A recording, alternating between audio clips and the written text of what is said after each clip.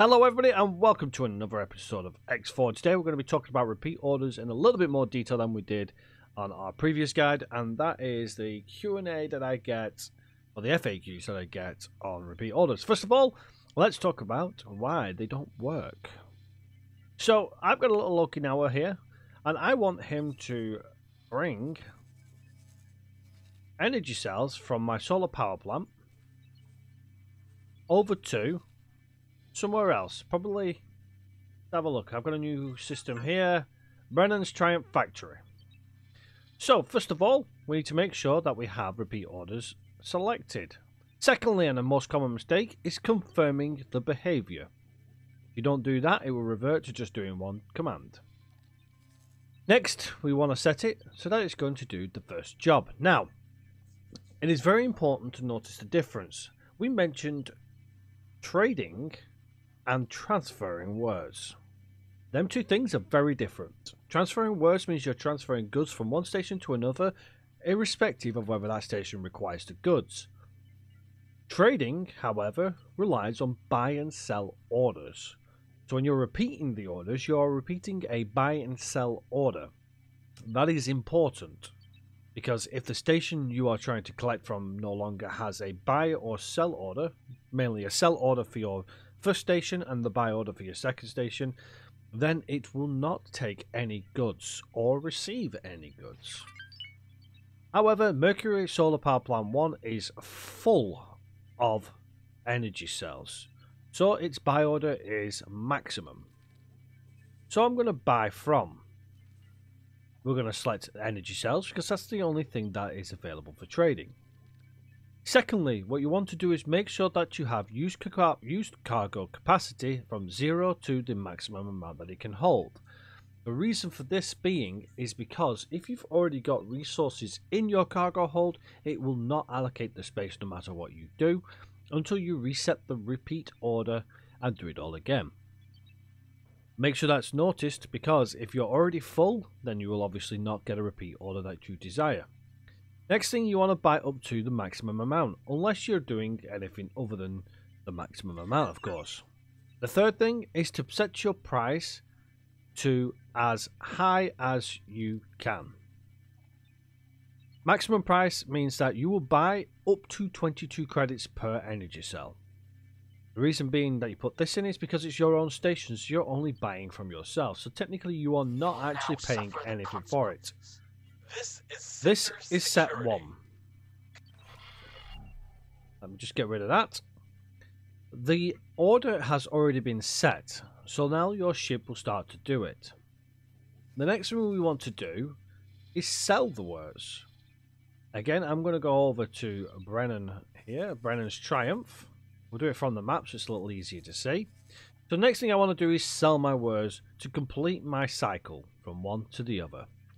This is just a basic example, you can do multiples if you so wish. However, let's sell two now. The first thing you will notice is there is only one option which is sell to build storage. That is your first clue. That means this station has no way of storing your resources.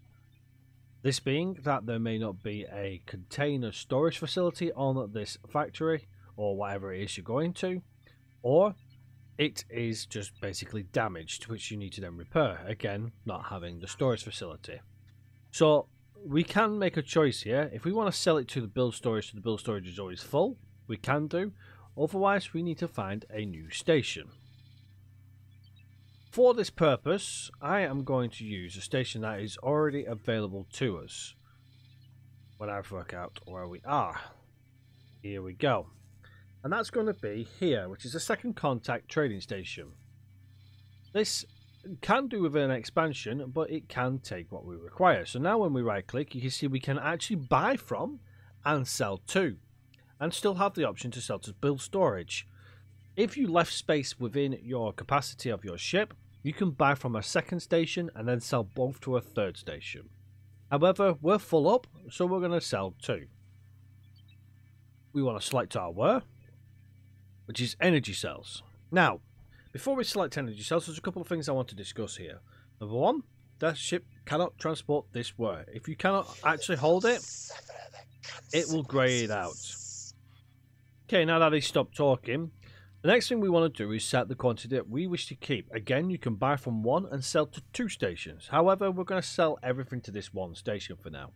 So our quantity to keep is 0 out of 42,000. Our minimum price we want to drop down. We'll take as low as 10 credits per, se- uh, per sell because again, this is our own station.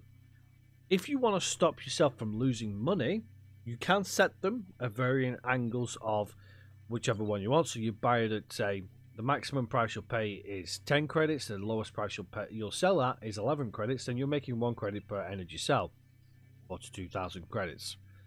That you can do if you're selling to an AI station, but this is an example of selling to your own station. We can confirm that, and there's nothing wrong with that. Now you'll see you have buy number one and sell number two. Within these, they will do these here, which is to dock, dock and wait, and execute the trade, and then move on to the second step, which is to sell. Now, many questions we get is, what if my ship is buying and not selling? Or vice versa, selling but not buying any more than it should do? Well, the first thing we want to look at is the station which is causing the problem. You will notice here that this station's pretty full up, but there's a couple of things that you will also notice from the screen is number one are these crosses, and number two is the two colours here. The first one is trade restrictions apply to this ware. That means you've set up a trade rule and applied it to this. I'm not going to discuss trade rules today, however, if you know how to do it and you've done it and you've forgotten you've done it, which says something like, don't allow my ships to trade to it, then that could be causing it a problem. However, more than likely it's going to be, like mine is, selling only or buying only from my own ships to stop other factions from being able to sell to me. The second thing is uh, is these colours here, the green and the orange colours. If we go to our energy cells, you'll notice that at the moment we've not got our ship coming to us because it's not collected the first trade, so it's not registering the second trade yet. However, there are a couple of things to note here. The first one is automatic storage allocation. I keep mine all automated because realistically things go up and down and my manager can manage it quite well. However, that could be set manually and could be affecting the reason why you can't actually sell or buy from the station. The second one is the automatic buy amount. If you deselect this, you'll notice we've now got the orange marker that we had below. That is telling me that this station will buy until it reaches this amount. If that amount is reached, the station will no longer buy, and a reason why your default kind of trades aren't working in your repeat orders. I've set it to currently automatic because at the moment it is pretty much buying and selling everything it can. The second one, if you're trying to buy from a station, is the same in reverse. You'll notice there's a green line here. Sell all but. This station at the moment, now that I've clicked that, will not sell anything to anybody because it's telling the station that I'll let you sell anything that's above 363,636. It's set to store that amount so it will never empty. But what we want to do is reduce it down as low as possible because what it will now do is say sell all but one. Now, you'll more than likely be able to buy from this station. So that's both sides from, from a station perspective. I'm going to keep that there because actually that's a pretty good thing because it means that my station is going to try and sell it. What I am also going to do is set my automatic buy amount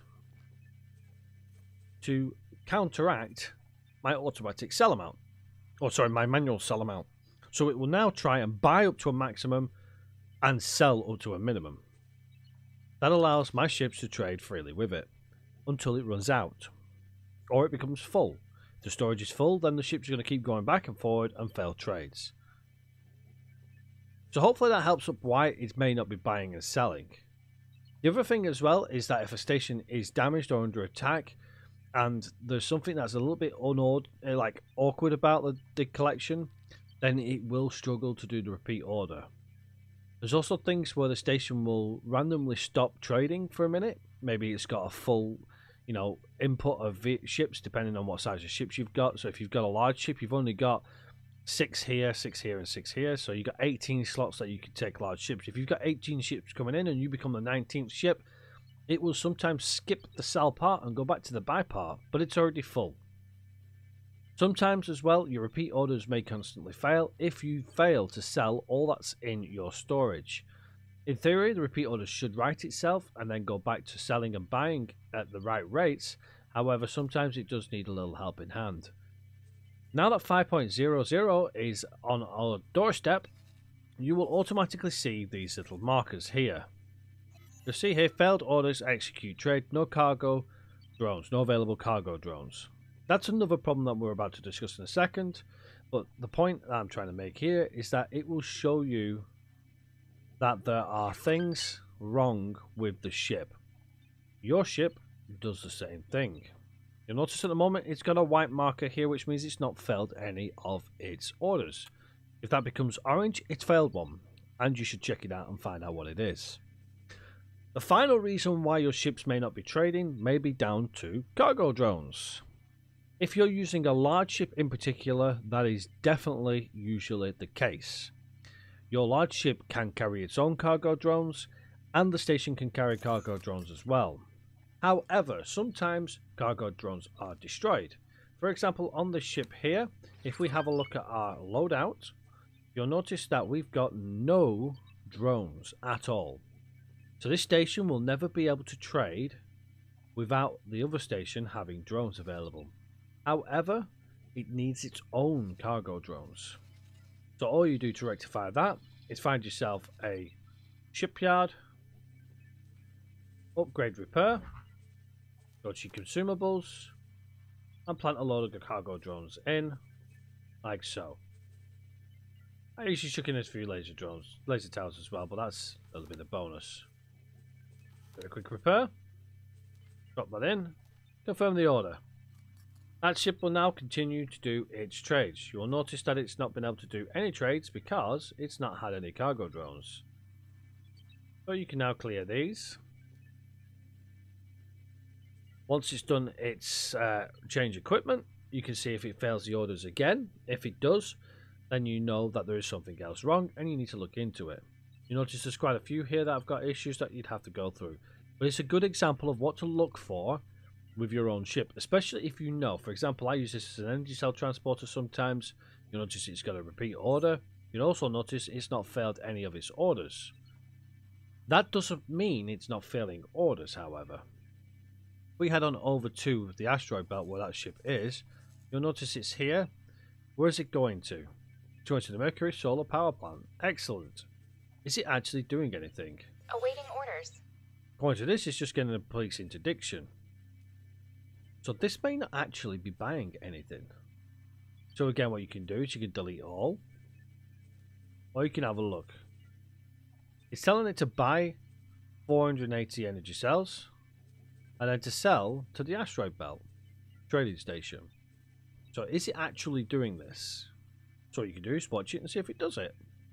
You can check its cargo currently. You can see it's got full energy cells. So it's now going back to the buy, which is going to buy a couple which you can see 480, which fills it up full. But why is it not selling fully to this station here?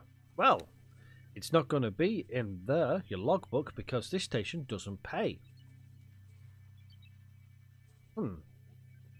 Seems to me that there's plenty of space. Automatic buy amount. And automatic sell amount. Now we should see that that ship will probably sell everything that's now in its cargo hold rather than holding on to a few. Because what it's doing is it's basically saying I only need a couple from you because I've got all these coming in here and all these coming out here and they kind of balance the books so I'm happy. I don't need any more from you so goodbye. To bear that in mind. You've got cargo drones happy days and that's pretty much it for repeat orders the same concept goes for anything to do with mining, attacking, or anything like that. Attacking is a bit of a weird one because obviously once you've attacked a station, it's generally destroyed, so the order no longer exists and can cause a repeat order break. The other one that's generally used is for patrolling. Instead of patrolling, why not set up your repeat orders to actually do attack targets in range? That generally helps with pirates in areas that you know are going to be choke points. For example, if you're mining in a certain area. As you can see here, you can see patterns. you can see ships that generally turn up and start attacking. So what you can do is you can get your ship here. Let's have a look what this ship's doing. It's currently holding position. Perfect. Let's set it up on a repeat order. Repeat order. Confirm. Now what we can do is we can now tell it to attack targets in range. And we can set it up to do multiples in a small area. That area now is completely covered by this ship, so it's going to continue to attack targets in range. It's going to go to order 1, 2, 3 and back to 1 again. It's just going to keep going in a circle, hopefully clearing ships that are attacking our mining ships. So the repeat orders is definitely not to be overlooked with. Hopefully that's helped you set up repeat orders and hopefully clear some of the reasons why they may not be working. If there is another reason why it might not be working or if there's something else that you're having problem with, then please let me know in the comment section and I will dig deeper into it. If I can't find the answer myself, I will find the answer for you and I will get back to you personally or via another video. Hopefully these FAQs are helping you. And again, if there's anything else that I can help you with other than repeat orders, then please again comment in the comment section below. Or otherwise, you can join our Discord where we have people on our Discord that will help you. And I will take the questions that you ask and form more of these guides for other people who may not be able to find the answer. Overall, I hope these help you be able to play the game better. As I've said, check out this Discord in the description if you do wish to join us, and hopefully you will, and you can enjoy more of the game and more people that do play the game. Otherwise, please hit that like, subscribe, and comment for more content. Until next time, everybody, take care for now. Let's just see you all on the next one. Bye bye for now.